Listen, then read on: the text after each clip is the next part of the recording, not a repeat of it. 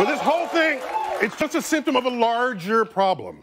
There's a growing anti-intellectual strain in this country. That many, it may be the beginning of the end of our informed democracy. Of course, in a free society, you can and should think whatever you want. And if you want to think the world is flat, go right ahead. The earth isn't flat. And by the way, this is called gravity.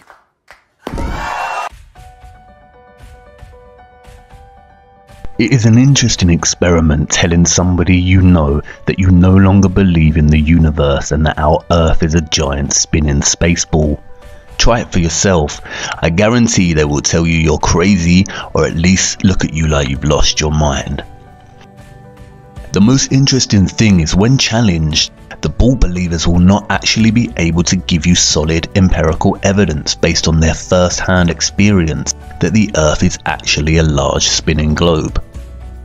Can any of us demonstrate firsthand in our day to day lives the earth's curve or motion through the solar system? No, we cannot. And can any of us say we have seen the planets in their orbit and the universe expanding with our own eyes? No, again, we can't. Usually in response to this crazy person telling them that the earth is flat, they will respond by 1. Bringing up images of the earth as presented by NASA, or 2. They will say come on, everyone knows space exists, and tell you that countless professors have dedicated their lives to studying this matter. At some point, perhaps, an emphasis on the existence of gravity will come up in the conversation. But you see, what is really happening when someone reacts so stubbornly to an alternative view of the earth is not a result of the person's mental capacity.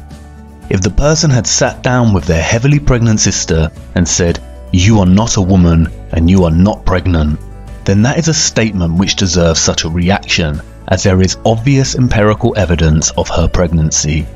No, what commences when challenging a person on the earth is a battle against their programming. This programming is a deep rooted and established matrix that is deliberately constructed when we are infants. Before we leave primary school, our first hand experience of our flat and stationary world is slowly being erased and steadily inflating into the bloated and spherical idea that the earth is a globe. The sad thing is, many of us grow up and never question this notion again. It is only in photographs and videos from NASA and other official trusted sources that the horizon appears curved. All amateur and raw unedited images of the Earth will provide a completely flat horizon. And this is what we see ourselves through our own two eyes when standing at a beach or looking out from a vantage point. At any altitude, the horizon always appears 360 degrees flat, because it is and it always rises to meet the eye level of the viewer. You never have to look down or up to see the horizon, it meets you. No matter how huge they say the Earth is, if it were a curved ball, you would have to adjust your view upwards or downwards to meet the horizon. And I know we've seen the curve in photos and videos, but NASA and many other official sources continually distort the horizon in their footage with a fisheye lens to give the effect of a curved Earth. This is the same fisheye lens inherently built into the GoPro. And I know what you're going to say. You've seen the horizon bend and curve when journeying at altitude on an aeroplane. But unfortunately, this is more trickery. Aeroplane windows commonly bow outwards to give the illusion of curvature. A Telegraph article, catering to our gullible nature, explains that flight windows were changed because the square windows caused a higher percentage of crashes. Yeah, right. They use our size as human beings to dismiss our own infallible perception of a flat and stationary Earth, claiming we are not big enough to witness the curvature but this balloon managed to ascend 121,000 feet and left its fisheye lens behind. Lo and behold, a flat horizon. The balloon wobbles and spins, but the horizon remains dead straight, not curving in any way, shape, or form. And this is the problem. For centuries, our ancestors used their own judgment and relied on their own natural born senses to discern that the Earth was flat. And although some had dabbled in theories of the Earth's potential curvature, it wasn't until the early modern period, with voyagers like Christopher Columbus, that the heliocentric globe model became dominant and humans forever sacrificed the knowledge of their own senses. And the heliocentric model is so blatantly flawed and nonsensical that it's astonishing that it even gained traction. Take the water bordering our horizon, for instance. It is the natural physics of water to find and maintain a level, and it just so happens that that level is flat. If Earth was a spherical ball, water would not maintain such consistent flat levels.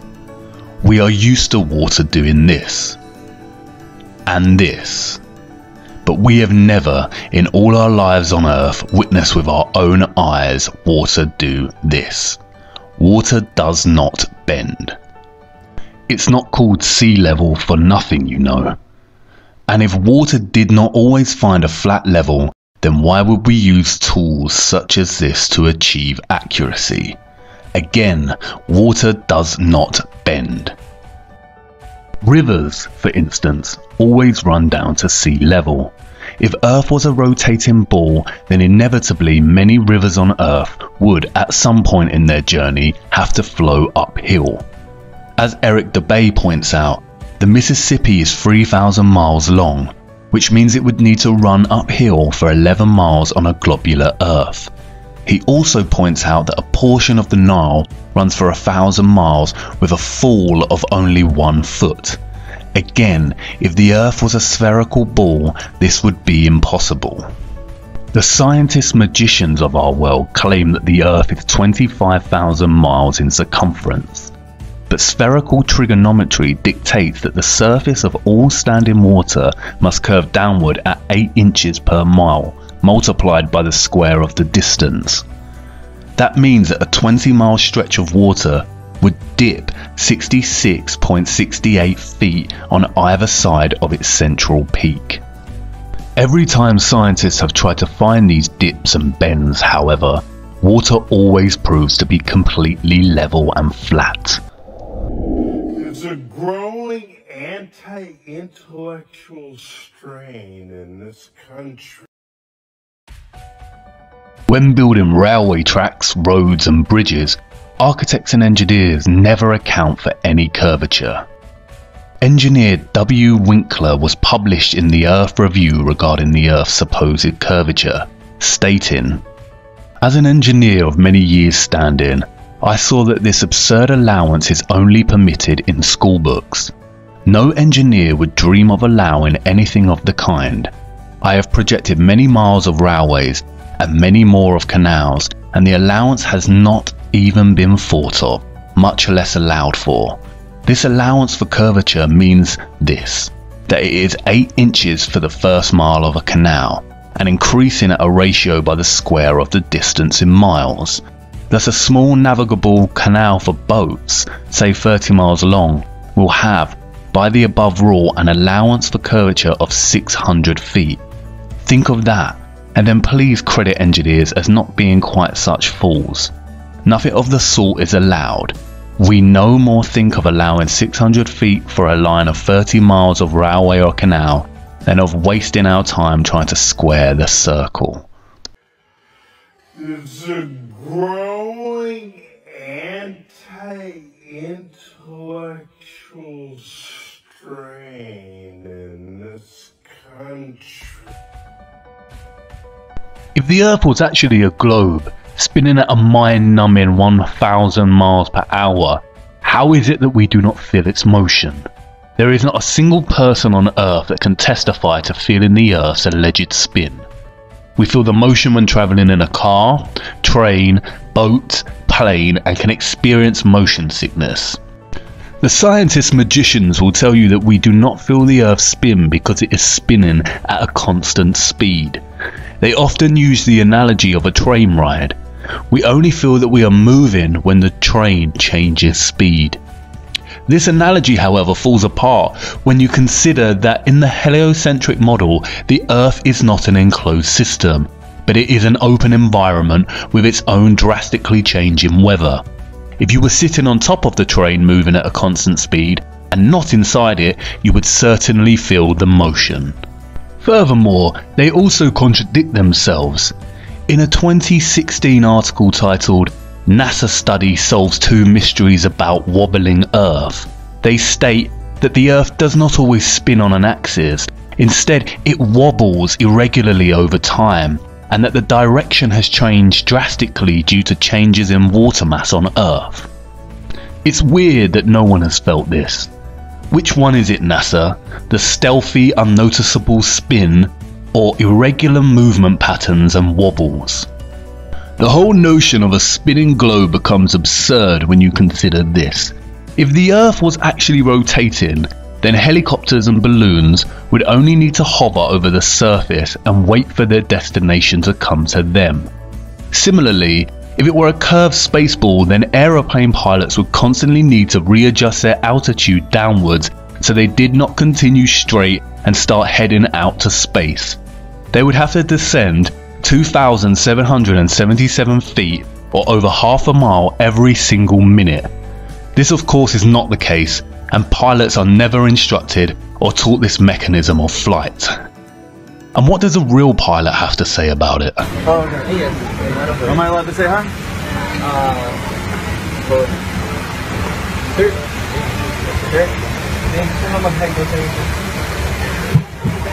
Hey, I just want to say thanks for the smooth flight. Alright. I Have did have one. question. Is there like a specific angle of downward tilt you have to fly at to Three degrees. three degrees for the curvature of the Earth? Oh, for the Earth? Because yeah, No, we just fly over over the troposphere. really. Yeah. do you have to keep like kind of going down because No, we actually have to nose up. It, it flies. Yeah. really? Because I was reading some stuff on the flat Earth that made a lot of sense. Have you looked into it? Which one? Which one? On the, I was reading a lot of stuff on the flat Earth. Okay. Yeah, yeah, yeah, yeah. True. True. It's true. Yep. Okay. Yeah. All right. Cool. All Hey. God bless, brother. All right. Have a good one. You too. Crack on. I just got one question to ask. Flat or a ball? Flat or a ball? What's that? Well, I never feel as breaking round. If we live on a ball, surely we'd have to fly around it. Yeah, it feels like flat or a ball. Flat, oh, not a ball. I think it's flat. Yeah, me too. Flat to me. It certainly does, doesn't it? And you, you, you've got that flight instrument That's down there to keep it flat. gravity exists. Gravity is an unproven theory. No, it's not. Let's rock and roll. Cheers, fellas. Thank you very much for the. Can I ask the pilots one question? Ah, first officer's here. Do, do you mind? He's got a question for you. Hello, mate. How are you? Yeah, good. Um, I'm a fellow, uh, Casey Josh. I'm a fellow, just PPL, though, pilot. Yeah. Yeah, nice. I got a couple of serious questions to ask you. Okay, here we go. Yeah, there's a big time. curvature. Curvature. Yeah, Yep. we don't allow for curvature, do we? Yeah. For anything, not for you usually. Yeah. No, we're we're round. Uh, we're a disc, aren't we? Round and flat. Yeah. Sorry. Hey, look. Honestly, quite seriously, Yeah. we are, aren't we? Yeah, yeah, yeah, yeah, yeah. Thank you, mate. Thank you for being. If the Earth is actually rotating, flight paths would become very messy. Flying west from New York to California is 2,441 miles, which takes just under 5 hours on a commercial flight. If the Earth is spinning eastwards at 1,000 miles per hour, then not only would this flight take a lot less time, but it would also make it near impossible to fly back the other way due to the constant rotation of the Earth. It would be like trying to run up a very long and very fast downward escalator. And what about the weather? If the Earth and atmosphere is spinning at a thousand miles per hour, then don't you think it would be impossible to see such stationary clouds and weather formations like we do? Not to mention that clouds often crisscross in their pathways. This would be impossible if the Earth's spin was a reality. Thomas Winship states, Let imagination picture to the mind what force air would have which was set in motion by a spherical body of 8,000 miles in diameter. which in one hour was spinning around 1000 miles per hour, rushing through space at 65,000 miles per hour, and gyrating across the heavens. Then let conjecture endeavour to discover whether the inhabitants on such a globe could keep their hair on. If the Earth globe rotates on its axis at a terrific rate of a thousand miles an hour, such an immense mass would of necessity cause a tremendous rush of wind in the space it occupied. The wind would go all one way and anything like clouds which got within the sphere of influence of the rotating sphere would have to go the same way. The fact that the earth is at rest is proved by kite flying. And honestly, if the Earth was a fast rotating globe, then wouldn't the oceans and other bodies of water be pushed away from the Earth in the same way as when a wet tennis ball is spun rapidly, the water sprays outwards? The scientists magicians have an answer for this. They call it gravity. And by the way, this is called gravity. The scientists magicians are at it again, weaving their spells and telling us tales of a powerful force keeping us rooted to the earth. If gravity was such a powerhouse, then birds would struggle to fly. Insects would not be able to use wind to navigate. Monkeys would not climb and jump among trees with ease. Planes would not be able to take off from the ground. Trees would not be able to overcome gravity's pull when their growth towards sunlight and would begin to bend towards the earth the taller they became. And if gravity exists and has the power to bend and wrap the oceans around a gigantic spinning ball, then humans would certainly struggle to lift their arms and legs.